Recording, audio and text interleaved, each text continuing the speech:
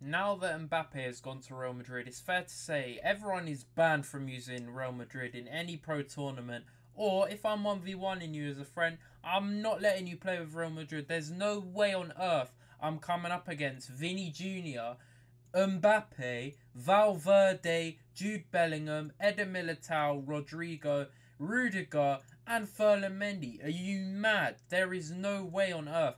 This is better than the PSG team a few years ago because yes, there was Messi, Neymar, and Mbappe, but Neymar was slow. Messi was kind of finished in FIFA.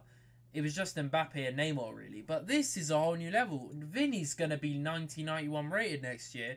Valverde's already crazy. And Bellingham's going to have a massive boost in stats. And we've got so many overpowered cards from this team. I mean, I'm not looking forward to this at all. It's going to be so broken.